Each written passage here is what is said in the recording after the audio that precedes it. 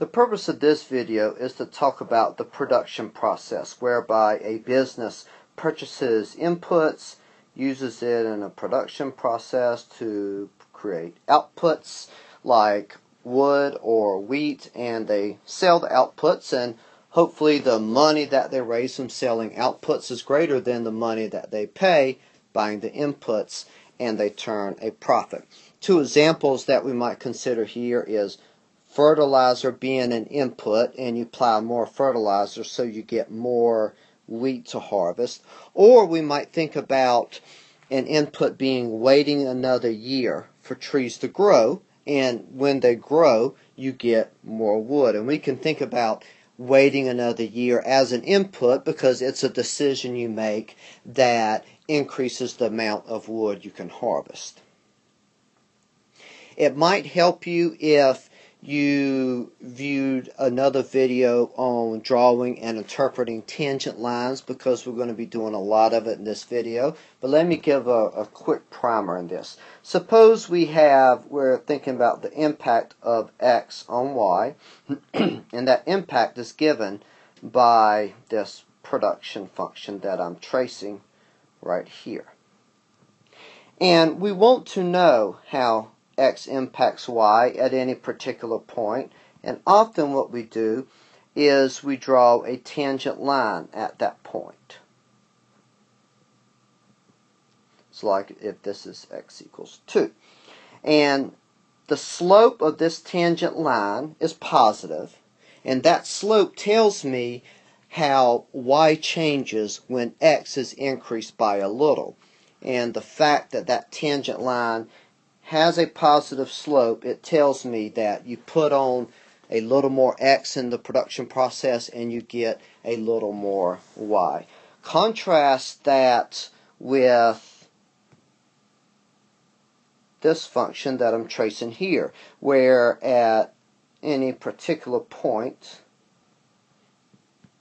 if you trace the tangent line, if you draw a tangent line, at that point and you notice that the slope of the tangent line is negative.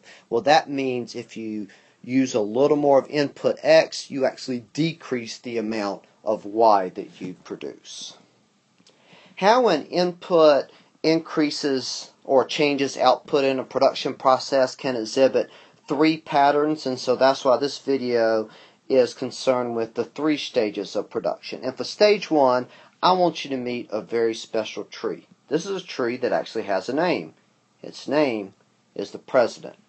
It's one of the largest trees in the world. It's over 3,200 years old, which means it was a baby before the Roman Empire was even Rome, and it's over 250 feet tall.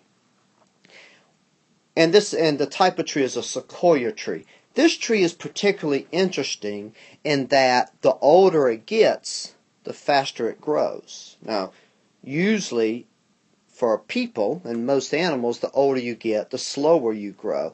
If you're watching this and you're 18 years old, you're still growing, but you're not growing near as fast as you were when you were 8. Suppose our job is to grow sequoia trees and harvest them for wood, and we want to look at the impact of time, how many years we let the tree grow, on the amount of wood harvested. Because this tree's growth rate increases over time, its production, what we call production function, the translation of time to wood harvested, would look something like this. And I say that because when the tree is young,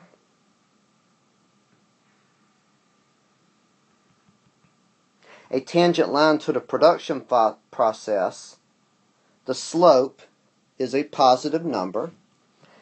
But as we let the tree age, the slope of that tangent line becomes even a larger positive number. Now remember the slope of that tangent line will tell us how wood harvested changes when we increase time just a little. So this means when you give the tree a little more time to grow, you get a lot more wood when you do that when you're old than when it's young and you give it a little more time to grow. And this is what we call stage one of production, where the productivity of an input is increasing the more of that input you use. Suppose that instead of wood, we were talking about wheat, and our input is fertilizer, and we want to see how fertilizer impacts wheat harvested. If it was the case that fertilizer on wheat exhibited stage one of production, then it would look like this the impact of fertilizer on wheat. And what that means is that when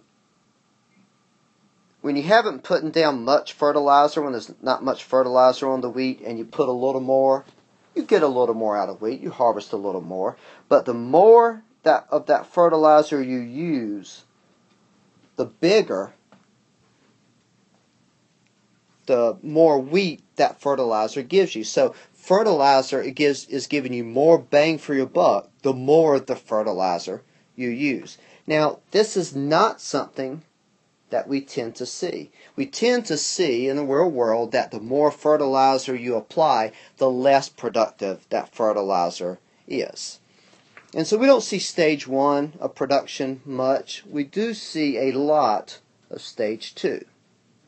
And stage two exists when an input is productive, it's giving you more output, but the productivity of that input declines the more of that input you use. And let's suppose that we're talking about the impact of fertilizer on wheat. In stage two of production, the production function will look something like this, where the first bit of fertilizer that you put on the wheat has a rather large impact because the slope of that tangent line is positive and large. But the more fertilizer you apply, the smaller that slope becomes. And that means the more fertilizer you apply, the less additional wheat you get from that additional fertilizer. Fertilizer is becoming less productive the more you use. And we can also think about this being the case with cattle. If we're producing live cattle for slaughter and our input is time, how long we let the cattle grow, again, we would see something like this where when the cattle are young, they're growing very fast and the slope of that tangent line is large and positive. Whereas as they get older, they're still growing, but they're not growing near as fast. That is stage two of production. Now you may be thinking to yourself, there comes a point, if you let the cattle get older and older and older, they'll actually stop growing when they're mature adult. And as they reach the elderly years, they may actually decline in weight. And you would be exactly right. And you would be thinking about stage three of production. Stage three is when an input is not productive. You use more of an input and you actually get less of your output.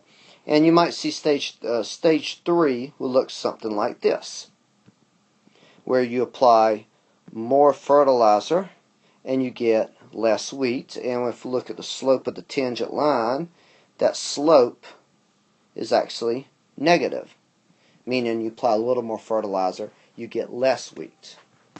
And the same thing can happen with cattle too, of course. And